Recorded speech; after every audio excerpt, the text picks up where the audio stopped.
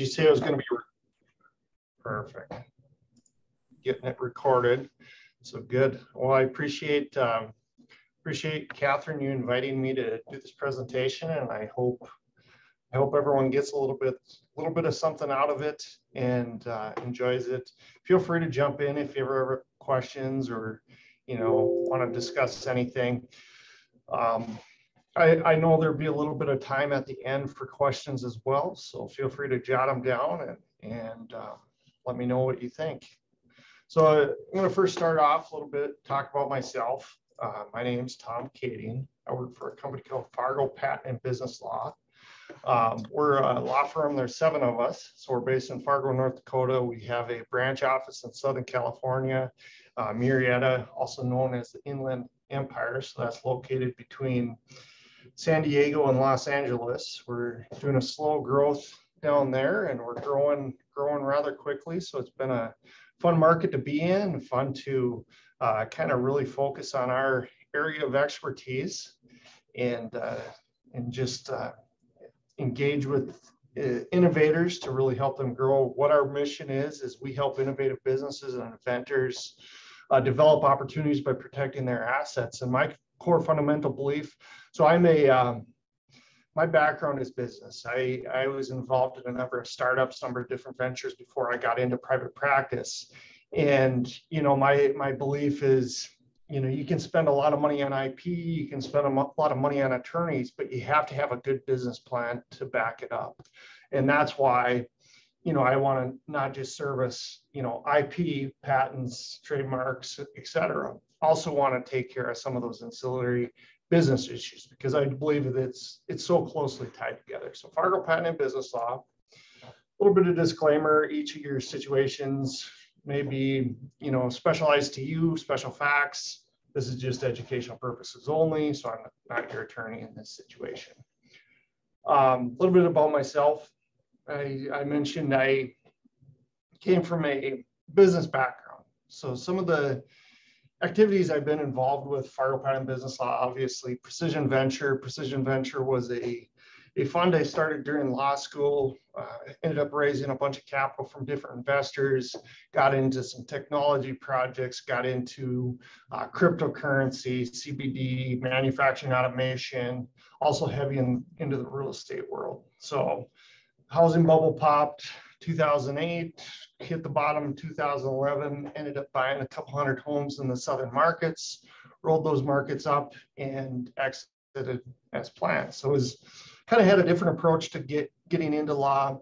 Uh, Prairie Products, Rocks Renovation. I owned a construction company for for a couple years. Ended up uh, getting rid of that. That was in Arizona.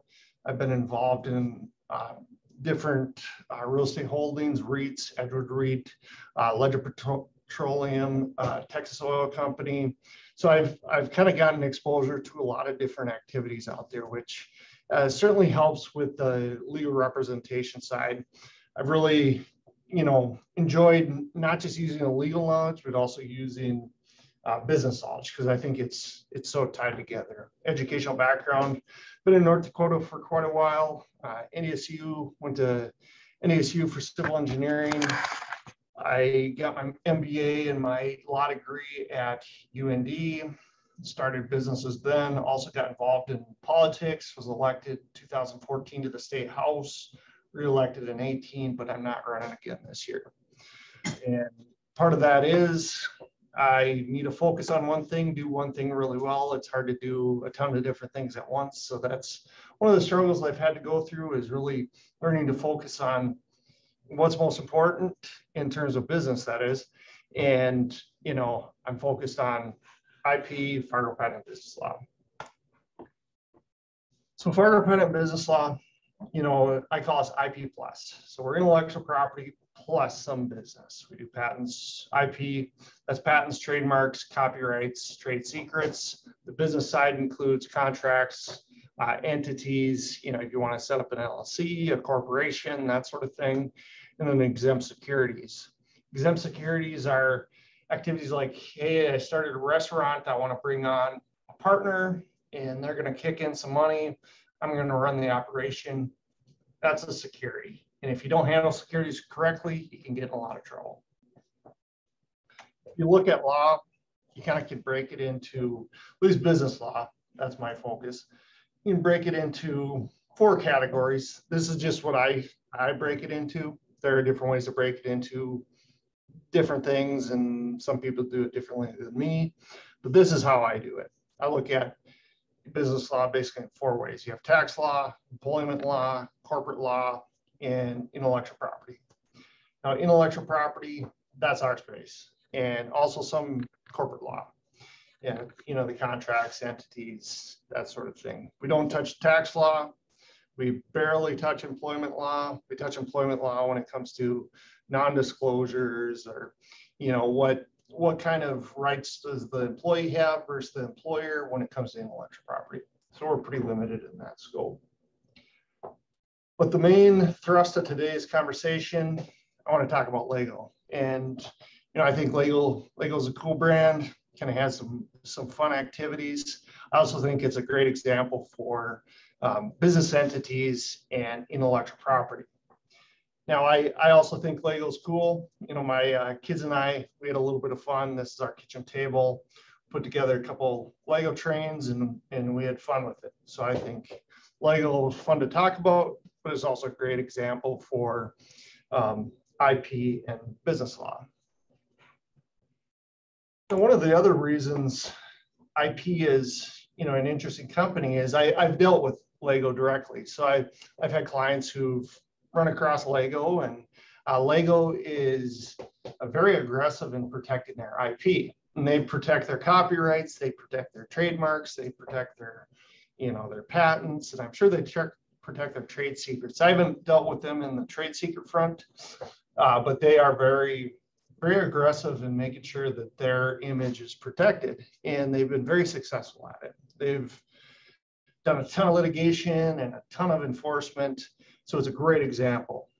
Now Lego, uh, Lego doesn't mess around. Uh, you'll see in this slide, you'll see two pictures. You'll see on the left side of the screen, there's a traditional Lego. Lego has a product line called Technic, and that's just one of their trademark product lines. So you see this Lego Technic uh, car on the left. It's a it's a picture of the box, and you build the build the car itself. And then on the right, you'll see a brand and it's in, it's a Chinese brand and it's, I don't know how to pronounce it, but it's Le Pen or Lupin. I don't, don't know the exact pronunciation, but Le Pen was knocking off Lego. And you can see in these two pictures, the, the Lego image is almost identical to the knockoff image. And Lego was not too happy about it and you know they sold i think it was like 4.2 million boxes of you know these knockoff products that were directly like lego very similar and so lego lego kind of got fired up about it and they ended up getting into all kinds of litigation and you know lo and behold lego ended up convincing the chinese government shanghai uh, that these people were doing something criminal, not just civilly wrong, not just infringing on their trademark, but also something that was criminal. So the CEO ended up getting a six-year sentence in prison.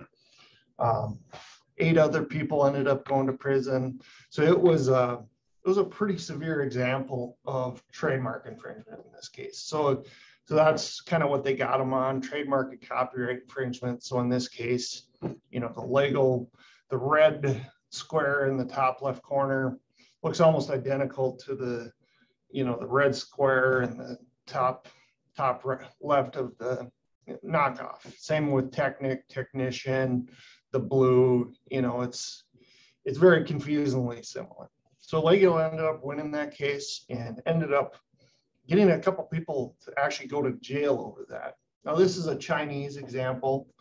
Um, ended up doing go to prison in China and enforce it in China. In the US, it's it's probably not going to happen that you end up going to jail over a trademark infringement or a copyright infringement. I suppose he could if he did contempt of court. Um, but it goes to show that these companies out there, they're, they're serious about protecting their brands and their brands are worth a lot of money to them.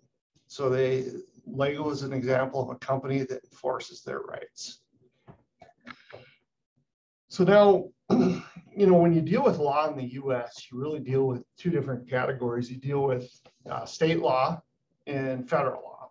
And generally speaking, those are the different categories. There's there's other jurisdictions out there. There's water districts and cities and counties and different things like that. But generally speaking, when you come to um, the type of law we typically practice is it's either state law or federal law. Uh, state law, you start a business, you're typically dealing with state law. State law are things like the Secretary of State. Secretary of State of North Dakota, you go and file your LLC in North Dakota, or you could go to Minnesota and file your LLC there, Secretary of State of Minnesota. And you know, each state has some variation of a Secretary of State where you go and file a company. Some states have, you know, the Arizona Corporation Commission or you know, different different things where you file file your LLC or your corporation or your partnership or whatever it might be. So that's state law. State law also typically includes property sales, uh, real estate sales, um, employment law. Uh, it includes like um, family law or you know some of the more typical uh, legal and lawyer type things.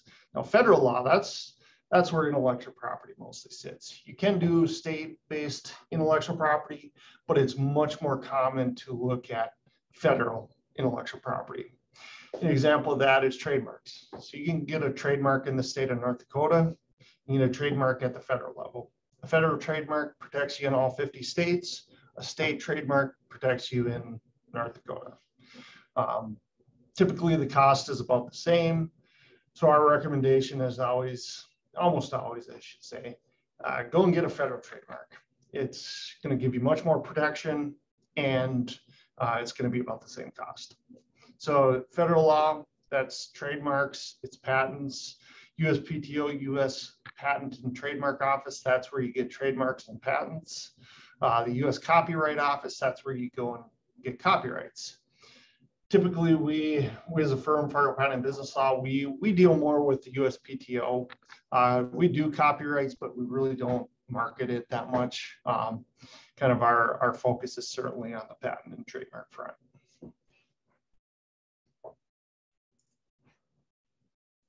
A little bit about LEGO. So what is LEGO? Uh, Lego is an abbreviation for a, a Danish word, I believe it is. And it, I don't have no idea how to say it, but it's Legot. And what that means is um, play, play well. So it's just an abbreviation, kind of a play on words. Now it's a Denmark based company. It's overseas. So the headquarters is in Europe. That said, it has a ton of US entities. It even has North Dakota entities. It has entities probably in all 50 states, but the bulk of their entities really are in Delaware. A lot of Delaware entities. And Delaware is, you know, people who are starting businesses, you probably heard of Delaware corporations. Delaware, for a couple of reasons, that's a go-to state. So most publicly traded companies are Delaware companies. And that's because there's a lot of case law, there's a lot of standardized systems for, for Delaware corporations. So that's why a lot of companies go to Delaware, set up their entity there. Uh, if you're going to start a restaurant in North Dakota, you're going to start, you know, a, a, real estate company, a manufacturing in North Dakota. Most of the time, I say start a North Dakota LLC. Um, it's probably not worth the expense of setting up in Delaware if you're going to go out and you're going to raise $100 million in capital and you plan on doing all sorts of expansion and and growth throughout the United States, yeah, let's let's consider a Delaware company. But generally, small business doesn't necessarily have to worry about that. Lego was founded in 1932, and like I said, they're in Delaware, but their headquarters are in Connecticut. So one of the things as you get into business and you learn about business is, you know, what do you do when you start a North Dakota company, North Dakota LLC, for example, but now I want to go do business in South Dakota. I want to have my North Dakota base, but I'm going to have a branch in, in South Dakota and I'm going to have a storefront there. Well, what you have to do is you have to file in South Dakota as a foreign entity. So you have your North Dakota entity, but you also file in South Dakota and say, hey, Secretary of State in South Dakota, I'm doing business down here. Uh, just letting you know, I want to do it legally. And that's that's essentially what you're doing when you're filing as a foreign entity in another state. So that's what happened with Lego. They have their entity in Delaware. They have a probably a foreign company in Connecticut. They probably have a bunch of local Connecticut companies as well, because the organizational structures for uh, big companies can get very complicated. You can have 50 LLCs doing different things. An example of that, when I was running Precision Venture, we had about 18 different entities doing different purposes. So they'd invest in different projects, they'd do different services. So depending on what your business is, you may or may not need uh, different entities doing different things. The core, uh, I guess our top entity in, in the US is Lego Systems Inc. I did a search in Delaware just out of curiosity and wanted to see, you know, how many entities do they have? And I did a simple search and this is just a small portion of what they have but you can see there's all sorts of entities here. There's corporations and LLCs and you know, LP. Um, LLCs and, and corporations are the most typical. Uh, there's even a trust trust in here, which is another type of entity people use. But if you think, but with entities, you know, you saw these different types of entities. You saw LLCs, you saw corporations. But what you didn't see is partnerships and sole proprietorships. And one of the reasons that is, is if you go out and start a business, you have two choices, two basic choices, I should say. Um, you can limit your liability one, or you can have personal liability. And as an attorney, I always tell people, you want to limit your liability. And the way you do that is with an LLC or a corporation most of the time. You can also do that with uh, limited partnerships or limited liability partnerships or you know, a couple of different entities out there, but typically it's an LLC or a corporation. You know, as I showed you in the last slide, we didn't see straight up partnerships and we didn't see sole proprietorships. So what a partnership is, is two or more people or businesses or whatever come together and they say, hey, we want to we want to do business. We want to start a business and they sign up, the two people start a restaurant and it's a partnership. Something goes wrong with the restaurant, uh, the creditors, anyone who's suing you, they're going to go after you personally. And they're not just going to go after the business itself, you're personally on the hook. And that's the same thing with sole proprietorships. If you start up a, a um, you know, a food truck and you say, hey, I'm just going to do it in my own name. If something goes wrong, if you you horrifically poison someone, they're coming after you personally and they're suing you personally. So that's why I always say set up an LLC, set up a corporation. It gives you some insulation for some of these things. It mitigates that risk.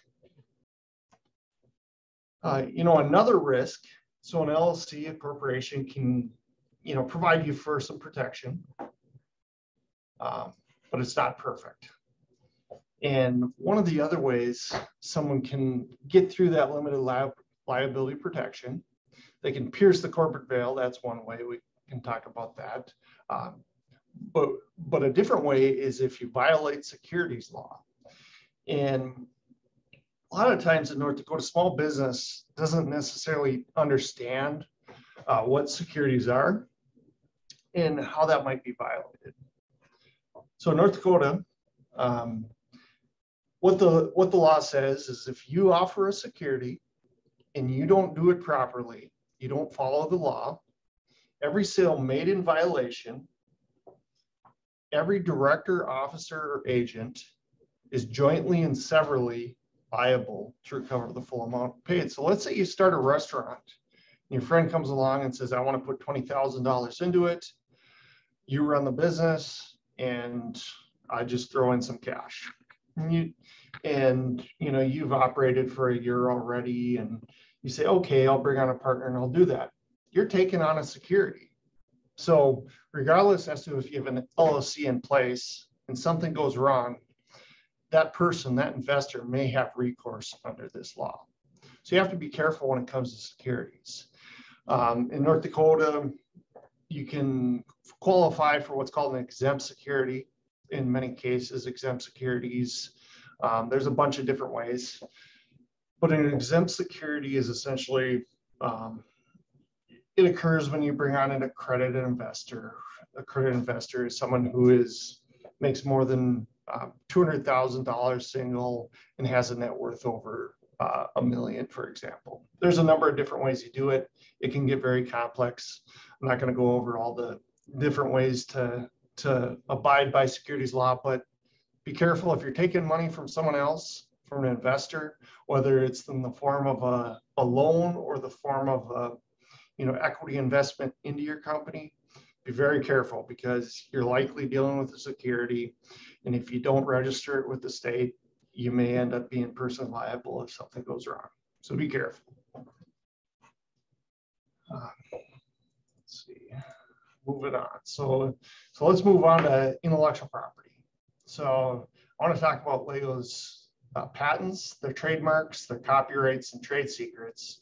And I also want to give a very um, brief precursor as to what are these things.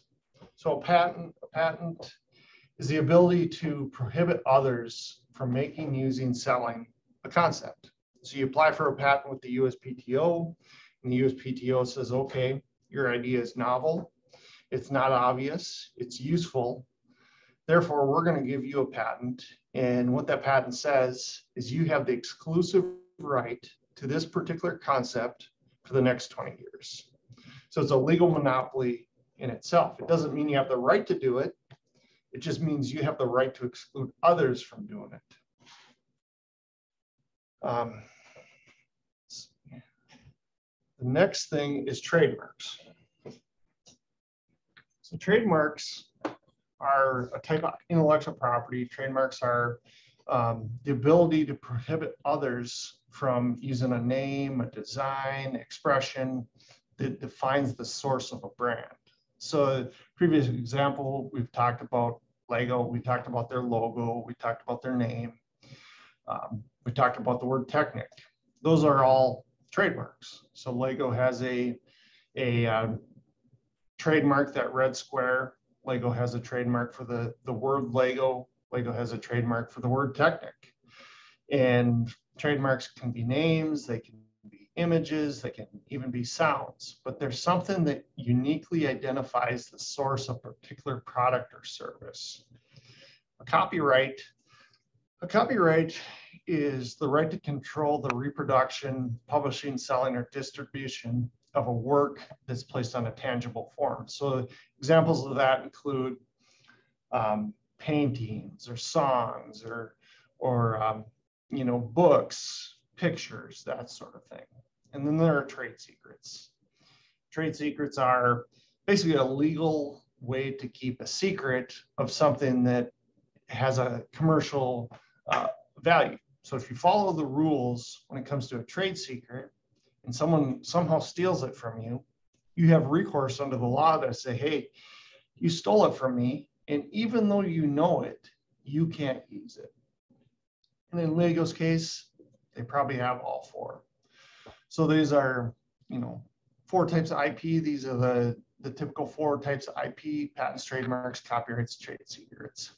And that's when people talk about IP, that's typically what they're talking about. Uh, so let's talk trademarks. What is a trademark? You know, it's a sign, design, name, expression, could be a saying, could be a lot of things, but it represents the product and service you can oftentimes see a trademark with the, the mark TM or the circle around an R. Those oftentimes indicate a trademark. Technically, what the R is, it means it's a registered trademark. And that means you know, you file it with the USPTO, the USPTO has reviewed it and said, okay, we're giving you a trademark and it's therefore registered. And then you have the rights as a registered trademark. TM can sometimes mean a, a, a common law trademark. It can mean a trademark that's been applied for but not yet granted. So one of the one of the distinctions with trademarks is a trademark can't have a technical function. So if a trademark has something that actually does, you probably can't get a trademark on it. Example would be um, a special shape of a wrench. You might not be able to get a trademark on a special shape because it actually has a function. And Lego dealt with that as well, and we'll touch on that in a minute. But uh, here's a couple example of Lego trademarks. You'll see, you know, Technic, Bricklink. Those are word trademarks. They just trademark the name. So if if a business comes in and says, "Hey, you know, I want to, um, I want to get a trademark for my business," you know, typically what I say is the first trademark you want to get is the name. The second trademark is your logo, black and white, and the third trademark your logo in color. You might want to get a trademark on your slogan, but you know, not everyone has endless budgets. So the first thing you really want to focus on is the name itself. Um, but you'll see a couple trademarks here. You'll see some logos, the logo, the red Lego, that's a logo, the Duplo, that's a, that's a logo. Um, city, that's a logo. Um, one of the interesting things you'll see here is the Lego man. So that's a that's a trademark in itself. That's actually a 3D trademark, which is a little bit of a unique thing. Um, I did a little bit of research. I think Lego owns around 80 different registered trademarks in the US. So they, again, they're very aggressive with their IP. Now here's a something Lego tried to apply for as a trademark, and I believe they actually got this as a trademark. But this brick, so the the uh, Lego had a, a patent on the brick itself. It was something that was new, something that was useful and not obvious at the time. And this was back, I think, in the 50s, if I recall correctly. But they got a patent on this. At the end of the patent, they said, well, we really like having our monopoly. So let's get a trademark on our brick too, and you know, see if we can exclude the competition like that. So trademark filed their application, they got their trademark. Um, they ended up going to litigation. Someone said, hey, that's not fair. You shouldn't have a trademark on this brick. It has a technical function. And so it went to court, and the court ended up saying, yes, the Lego brick has a technical function, and therefore Lego, you cannot have a monopoly over the Lego brick because it's not a valid trademark and your patent has expired. Uh, so now today in the market, we'll see all kinds of competition to the Lego trade, the Lego brick. I don't know all the brands off, off the top of my head, but there are many brands out there that uh, create variations of Legos. So there's competition in the market and you can buy other Lego bricks. Now, if you look at the Lego minifigure, that's a different story. Same thing, you know, Lego liked their minifigure and said, hey, you know, this is a great thing. I want to continue my monopoly.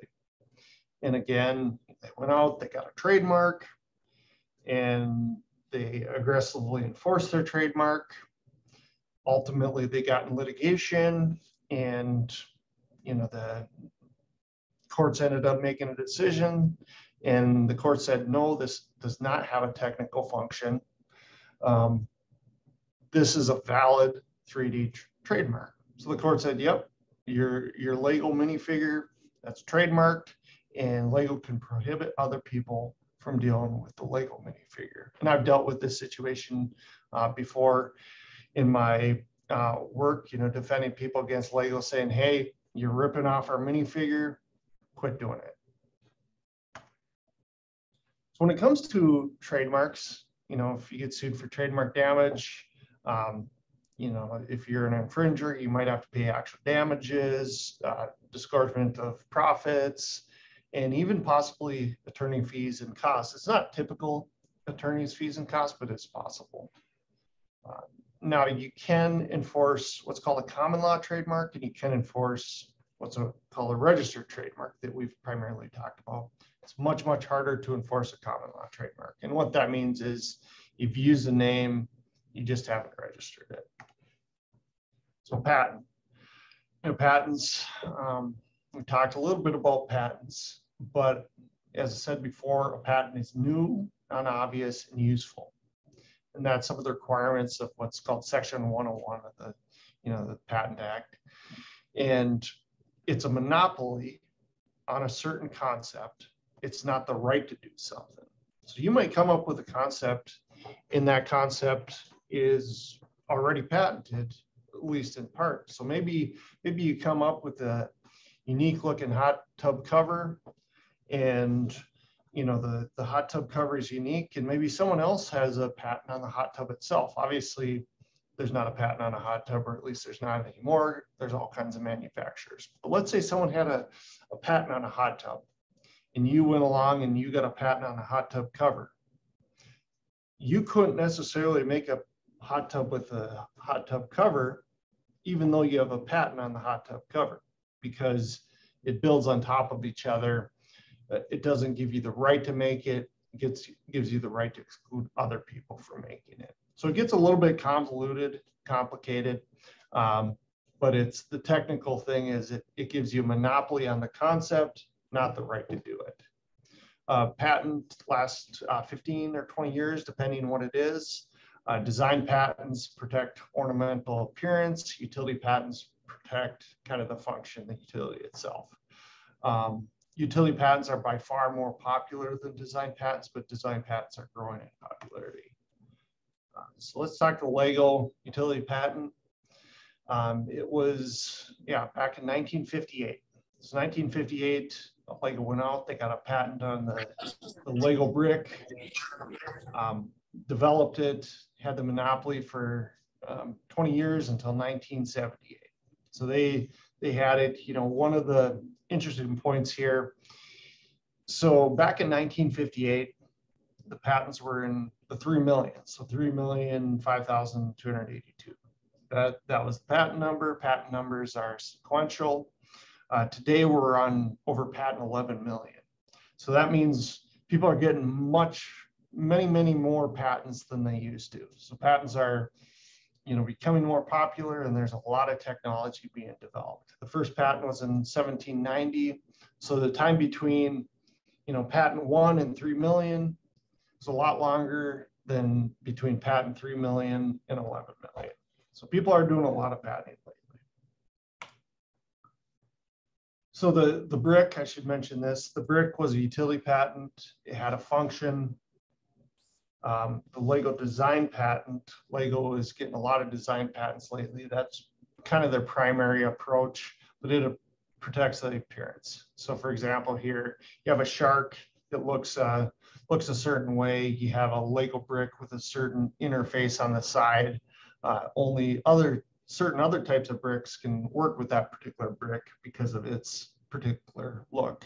Um, ways design patents are used. So phone manufacturers constantly suing each other over certain design patents. Um, you know, an auto manufacturer might patent uh, the look of an alternator in an engine. And they don't do it necessarily because they care about the look of the alternator, but they do it because only certain um, shaped alternators will fit fit with the engine mounts. So if they can control what the alternator looks like and control the production of the alternator, they can make more money doing it. So that was patents. Moving on to copyrights. Uh, copyrights, we do some of these. We certainly have done our share, um, but our focus is not really in the copyright world. Copyright is, is kind of a niche area too. Um, there's a whole industry of copyright trolls out there. You can just go on uh, YouTube and hear all about them. But copyright trolls, uh, copyrights are unique in that most of the time, if you sue someone for copyright infringement, you're going to get your attorney's fees. Uh, so what happens is there's a whole industry of copyright attorneys out there who say, hey, we'll take your case on contingency and we'll get a fee out of the out of the defendant and we'll get our attorney's fees. You might get 200 bucks in damages, but we'll get our attorney's fees. So there's copyrights. You got to be careful in your business. Don't rip off images. If you do, you could be running into a copyright troll. And we've worked with numerous, numerous instances of that where someone uses an image, they might even think they have the right to use it, but they use an image and then they get a cease and desist letter. They take it down the next day. It's been up for like five days. Um, but the copyright troll has has a claim against you and it can put you put you in a pickle. Uh, but a copyright, you have the right to control the distribution. And uh, it, it's creative work.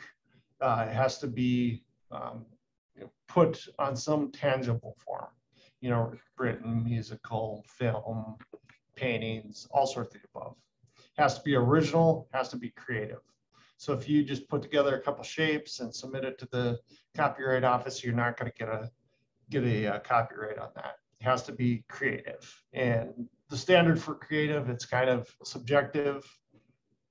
So it's it's a little bit gray, but it has to be creative and it has to be your original thing.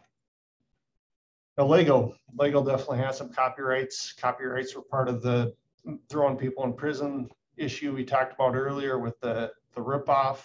Um, but we see two copyrights here. You know, the, the box itself, that picture on the front of the box, there's a picture of a boat, some shark, and, you know, a bunch of other things on it. Um, Lego has a copyright on the, the picture on that box. If you go and take that picture on the box and you reproduce it, you very well might get a cease and desist letter from Lego saying, hey, you're ripping it off our copyright, you're infringing our copyright. Uh, same thing with the, the Lego figurine at the bottom. Um, the way that guy is painted, the way the smile he has, the hair, all these different features, that's a creative, uh, original and creative design fixed on a tangible form. That's probably copyrighted as well. Whether it's registered or not, again, you can have uh, registered copyrights and unregistered copyrights. Registered copyrights are much easy, easy to enforce. Uh, so there's a little bit of a, um, a couple examples of Lego's copyrights. And again, Lego enforces their rights. I want to jump into trade secrets. This is the last type of uh, intellectual property. Um, you know what a what a trade secret is. It's just a legal method. You know, everyone knows about secrets, but this is a legal method to keep something secret. And if you follow the rules and you make the reasonable accommodations, reasonable methods, you can sue someone if someone obtains your secret. So to be a trade secret has to be a secret. So if you've shared it with other people, it's not a secret, you can't enforce it. If it doesn't have commercial value, it doesn't fall under a trade secret. And finally, you must take reasonable efforts to maintain the secrecy and again, that's a little bit subjective. What are reasonable efforts? Uh, but the more you document and have systems to keep something a secret, the better off you're going to be in terms of proving it.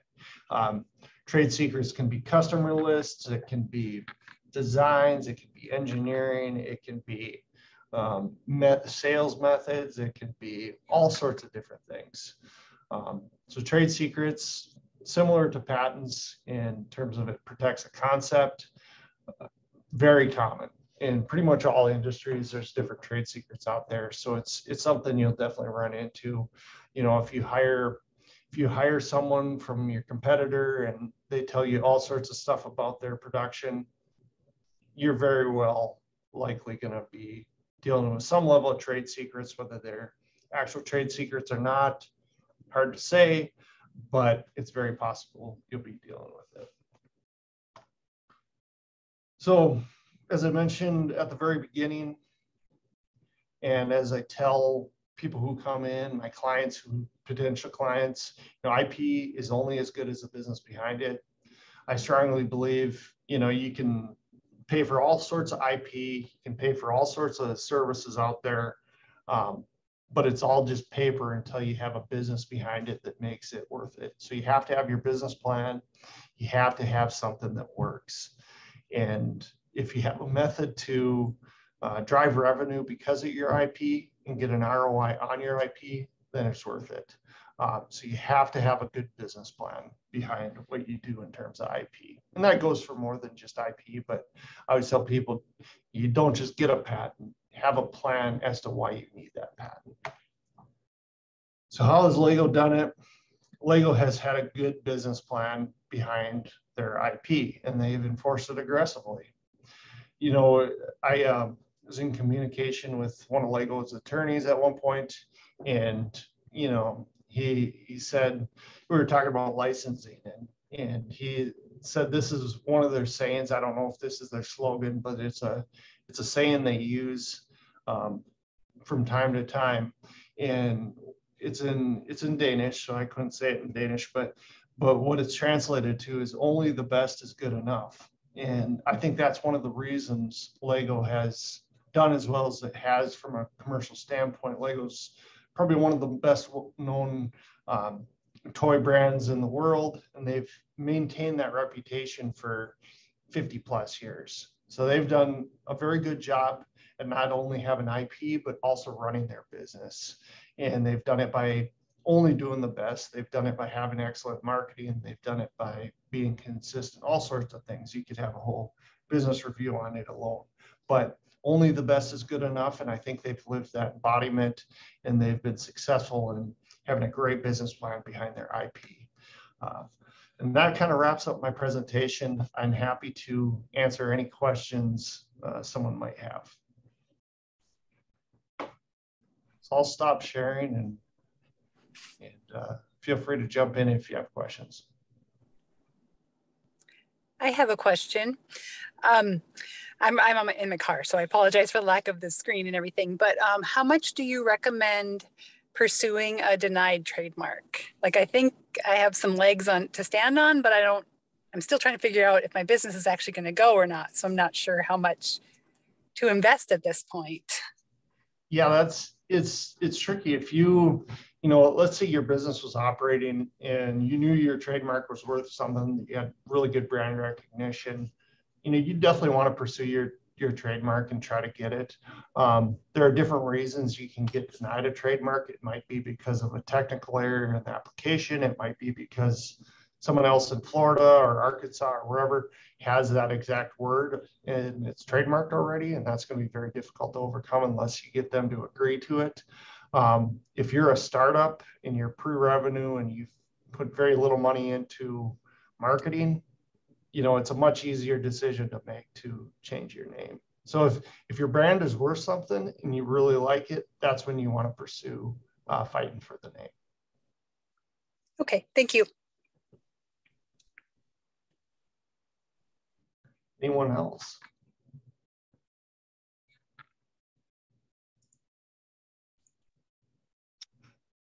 Should we trademark the name and the logo if we I don't know, is that just a standard business practice? Or do we just need to do that if we think that there's potential for copycats? So trademarks can really be used in two different ways. Uh, first, you know, I guess first to address trademarks, you can get trademarks on different things. So a name trademark protects a name. So let's say, you know, you want to trademark the name uh, you know, whatever unique name is out there, um, 3D innovation or something.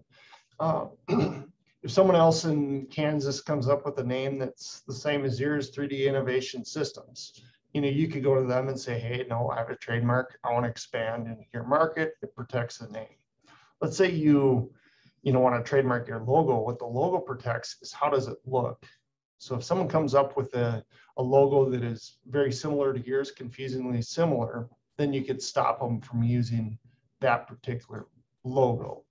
Um, you know, trademarks typically can be used in two different ways. You can use it as a sword, you know, uh, going after people who are infringing on you, or you can use it kind of as a shield. So let's say you, you know, you're in North Dakota, maybe you're in Minnesota too, but you're you're primarily in North Dakota and you have a unique name, you don't want issues in the future. So sometimes what happens is you come up with your name, you've been using it for five years, it's a great name.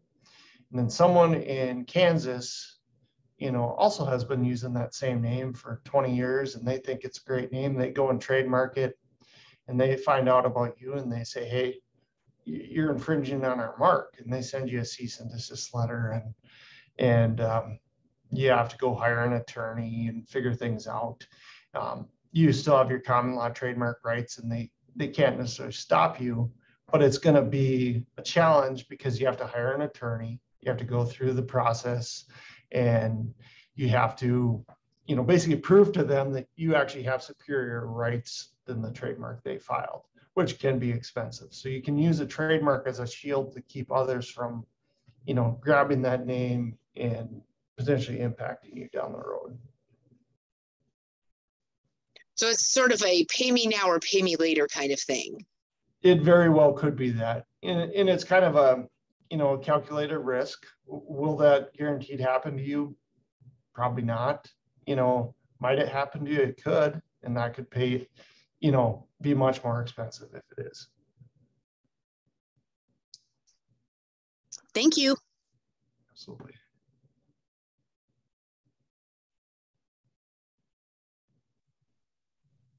For a patent, at what point do you recommend filing one if you created a product that you feel is unique?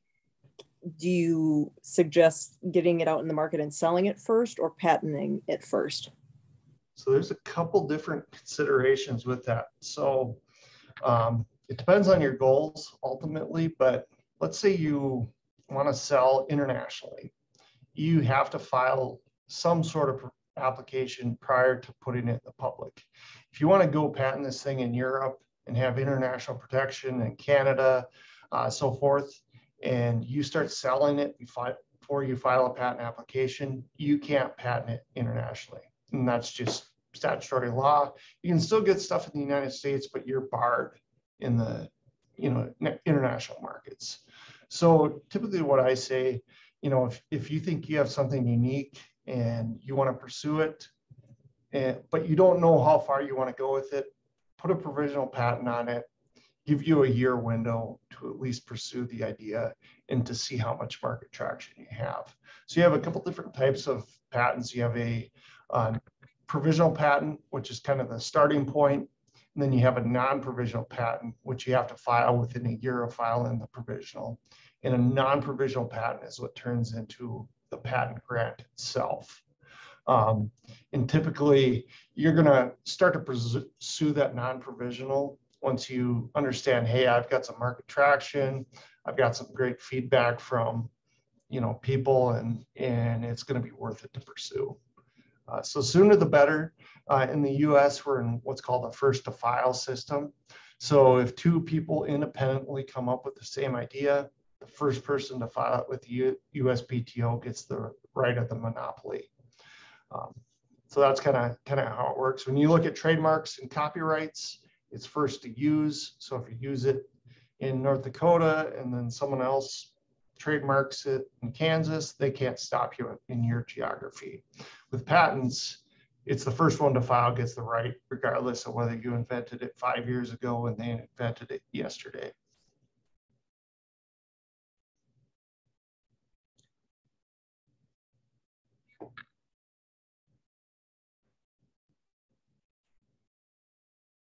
Anyone else? Does that answer your question?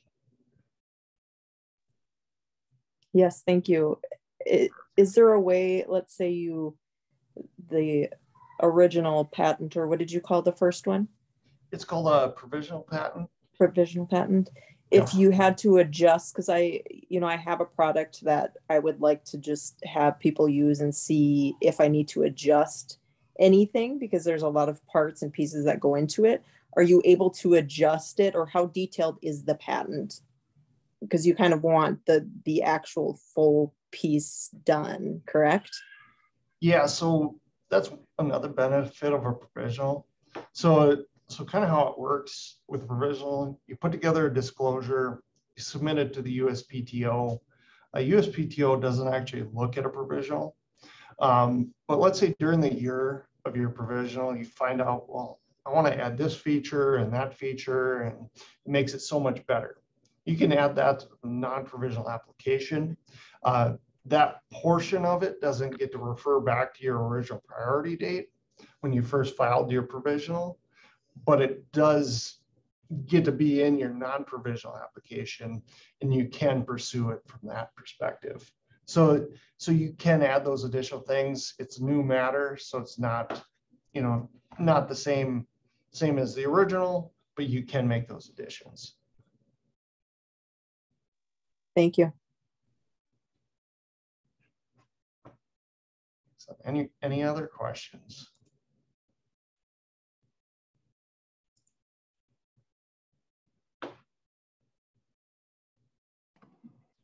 Tom, what kind of um, trends are you seeing in patent submissions? Is there industry that's represented a little bit more lately? Uh, what types of applications am I seeing? Yes.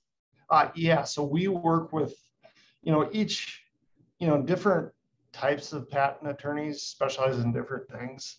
You know, myself, uh, so there's three of us at the law firm who focus on patents.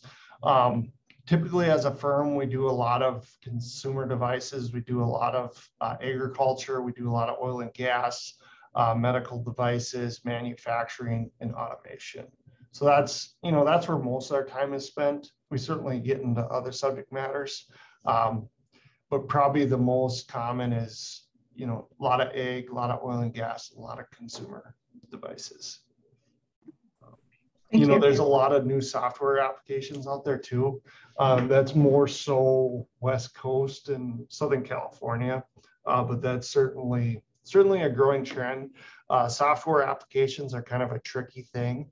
Um, you have to deal with subject matter eligibility, which is a conversation in itself. You can't patent formulas, algorithms, um, you know, abstract ideas, and oftentimes the software is in that category. Uh, but there's a ton of software and computer related technology out there that people are working on. Thank you.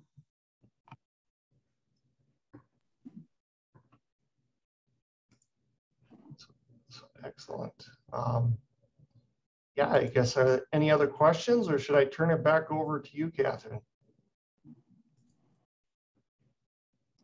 Great presentation, Tom. Um, one last call. Does anybody have any questions for Tom regarding the USPTO process?